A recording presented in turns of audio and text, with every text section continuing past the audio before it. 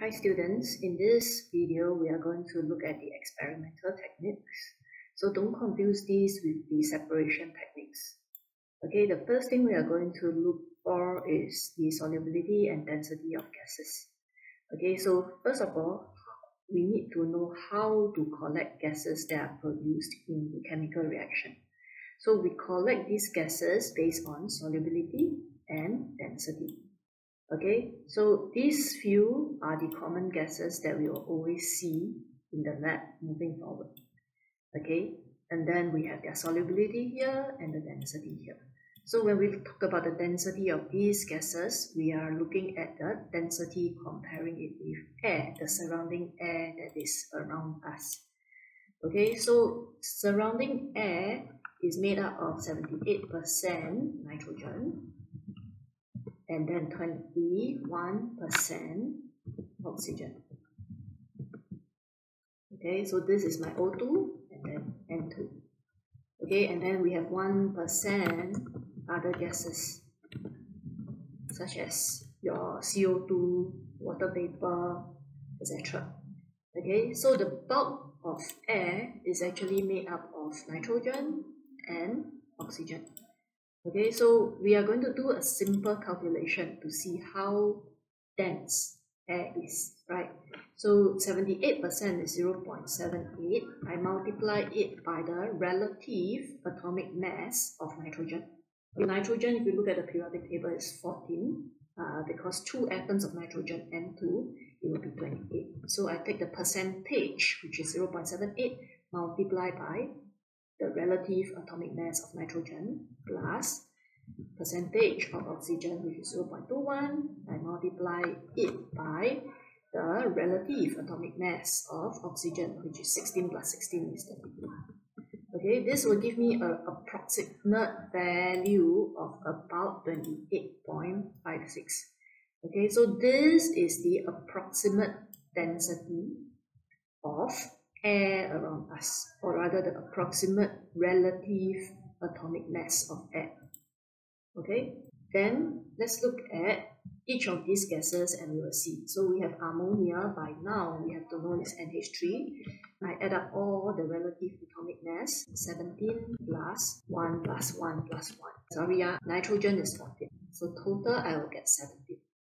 Okay, so from this value, I can see that my ammonia is less dense than air, right? So that's why we have less dense. Okay, using the same logic, I can go and count the relative atomic mass of all the gases. So HCl, hydrogen chloride, is 1 plus 35.5. Okay, sulfur dioxide SO2 is 32 plus 16 plus 16. And then CO2 is 12 plus 16 plus 16. Okay, chlorine is diatomic Cl2. This is 35.5 plus 35.5. Okay, oxygen O2 is 16 plus 16. And then H2 is 1 plus 1. Okay, so let's compare this relative atomic mass with air and then we can see which gas is more or less dense than air.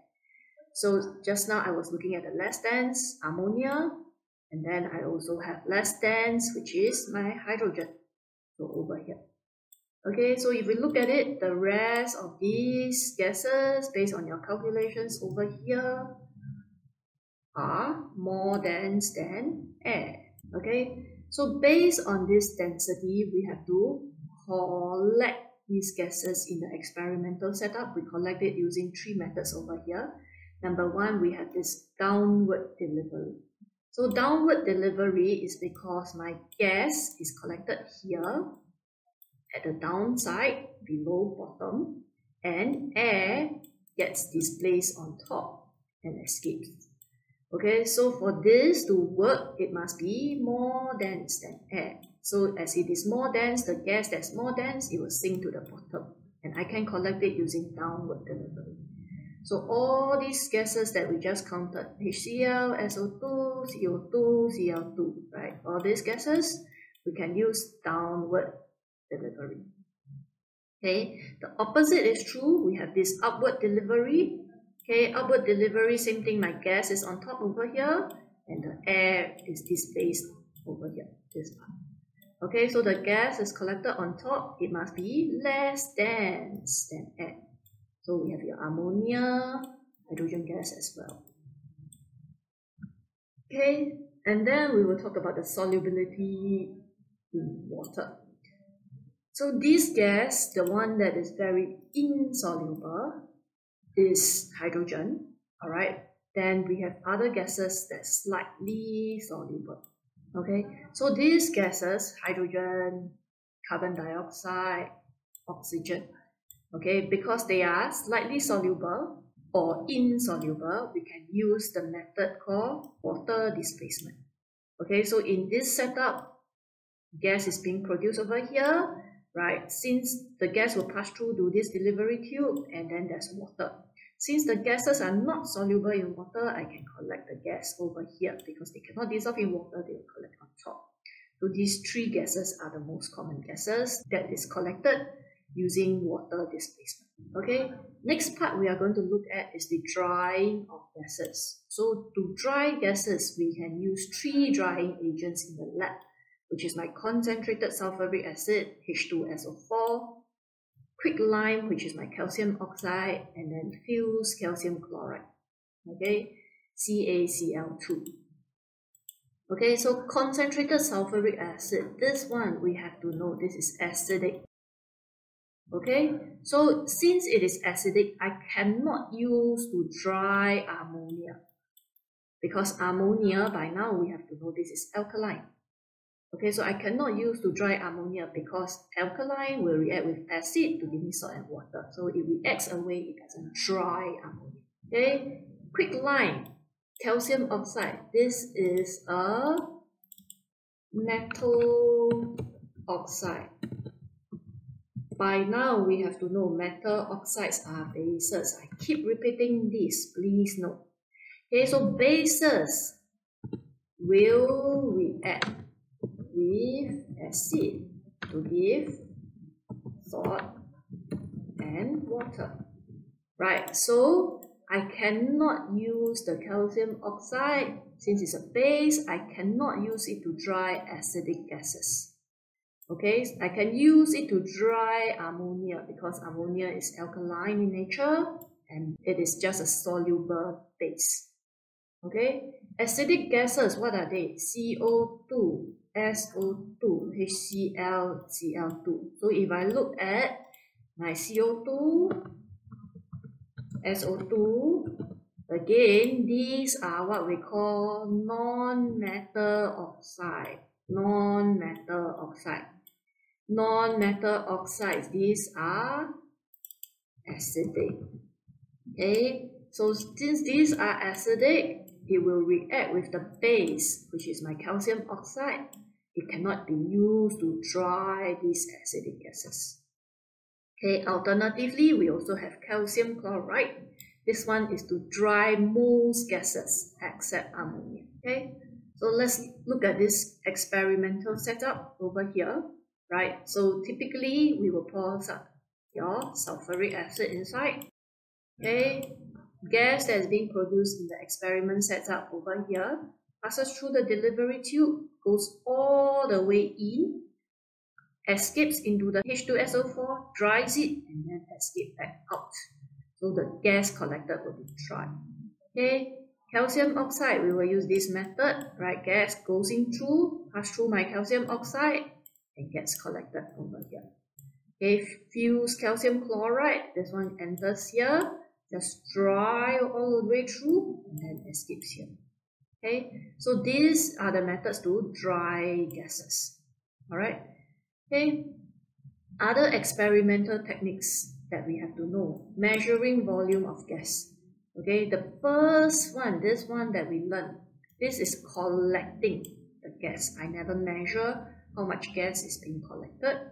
Right, to measure how much gas is collected, I have to use a gas syringe. Okay, measuring loss of reactants, okay, or I measure how much reactants are left behind. I will use a electronic balance. Okay, so most of the time, like in an acid uh, metal reaction or acid carbonate reaction, carbon dioxide and hydrogen gas is being produced. So the gas escapes, the salt will be left behind over here. So this one will decrease the reading. Okay, usually I will connect a cotton wool at the top. This one is to prevent acid spray or the evaporation of reagents. Okay, so acid spray really just means because the reaction is very vigorous, sometimes it will spray out and then it makes your reading not accurate. So putting it a cotton wool will make it a little bit more accurate. Okay, this one shouldn't read measuring of loss of mass because it's repetitive. This one is actually heating volatile liquids. Okay, so volatile could be a new term. Volatile really means they turn into gas very easily. Okay, so we never heat volatile or flammable liquid over the flame directly. Okay, so volatile, flammable, generally they have low melting point, low boiling point because they turn into gas very easily and then the gas will diffuse so I can actually smell it and that's the meaning of volatile. Okay, so what do I do? I don't heat it directly. I don't heat it directly. I will apply indirect heating.